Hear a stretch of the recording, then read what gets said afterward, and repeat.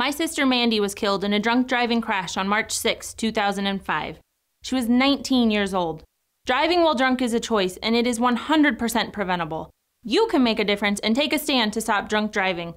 Please join Mothers Against Drunk Driving at the Phoenix Zoo on Saturday, March 22nd for our annual Walk Like MADD.